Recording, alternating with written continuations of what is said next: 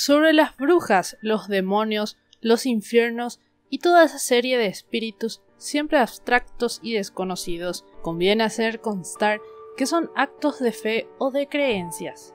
Al margen de las brujas que allí se reunían, Barahona también tenía hechiceras autóctonas, como la atestiguan dos procesos de 1527, custodiados por el Archivo Diocesano de Cuenca, contra Quiteria Morillas de Sacedón y Francisca la Anzarona, señora con nombre de bruja donde las haya. Existen localidades a lo largo y ancho de la península ibérica, conocidas como pueblos de brujas, desde la más conocida Sugarramundi hasta Cernégula, o desde Trasmos a Valgorgina. Según fuentes, aparte de que mujeres eran acusadas de brujería por la Inquisición, se dieron también aquelarres con comidas, orgías e invocaciones al diablo como en Barahona. Al sur de la provincia de Soria, el viajero que se aproxima a esa localidad, que nada más que al llegar es recibido por un monolito de piedra de un metro de altura provisto de un agujero que sirve de centro geodésico, donde dicen que las brujas se reunían. En los procesos que inició la Inquisición en su tribunal de Cuenca, se juzga a las brujas de pueblos cercanos a los pantanos de Entrepeñas y Buendía por ir a celebrar fiestas diabólicas a los campos de Barahona lugar donde está documentada la existencia de juntas de brujas. Otros procesos de brujería juzgados se dieron en 1527, donde tomaron declaración a supuestas brujas rurales que decían celebrar sus aquelarres en los campos de Barahona. Estas historias de brujería en las poblaciones de la Alcarría se explican dentro del siglo de oro, época dorada de las artes y las letras, pero marcada por una profunda crisis económica por la delegación de funciones de los monarcas en manos de sus válidos. Según el historiador y antropólogo Julio Caro Baroja, son estas brujas que celebran sus aquelarres en Barahona las que pudieron inspirar los caprichos de Goya, a partir del folclore castellano y del almanaque escrito en 1731 por Diego de Torres Villarroel, que escribía de manera profusa estos encuentros de brujas en la campiña de Barahona.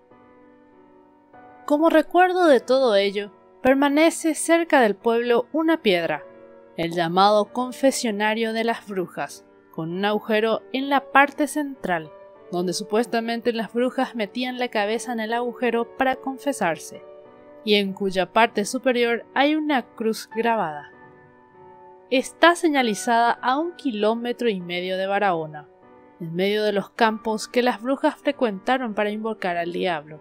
Asimismo, en el cerro donde se ubica la iglesia de San Miguel, hay unos paneles explicativos de entre los que uno hace alusión a las brujas.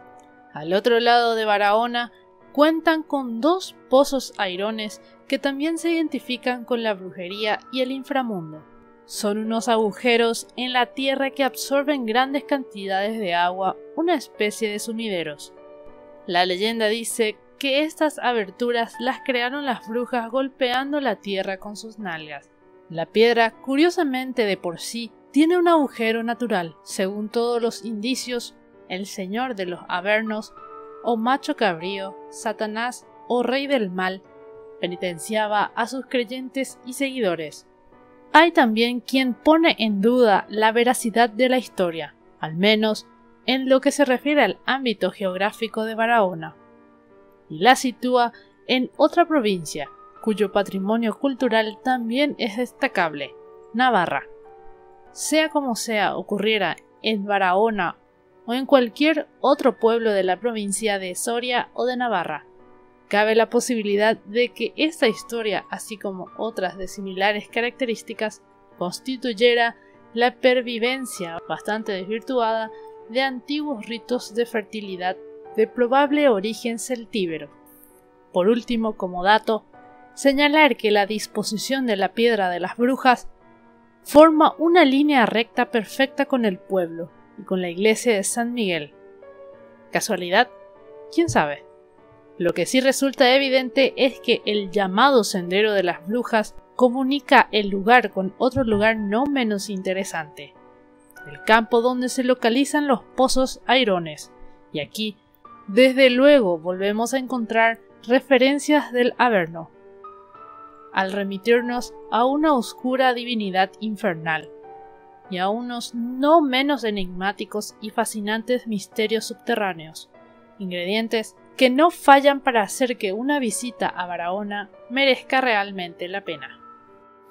Hasta aquí el vídeo de hoy, ya saben que pueden encontrarme en Facebook y Twitter. Espero que les haya gustado el material, por favor suscríbanse y nos encontramos la próxima.